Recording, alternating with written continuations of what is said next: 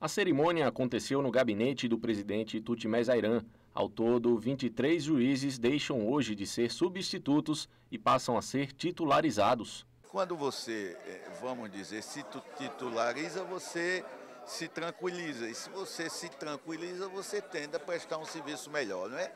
Eles consensualmente é, escolheram as suas, as suas comarcas, né?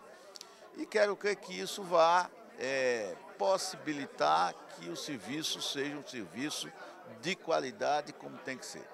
Todos eles foram aprovados no certame que foi concluído em 2016. O magistrado Douglas de Freitas atuou em Feira Grande nesses últimos dois anos e agora vai para a comarca de Maribondo.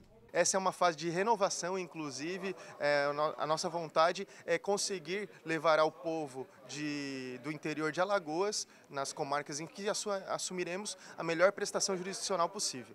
A juíza Marcela Pontes agora vai atuar em Major Isidoro. Os primeiros passos são a gente identificar é, as prioridades, né, os processos de réu preso, as improbidades, mas acho que no geral, como em todas as comarcas, a nossa meta vai ser correr o mais rápido possível com as urgências, tentar sempre julgar mais do que entra no arquivamento também, para a gente colaborar com, a, com as metas do CNJ.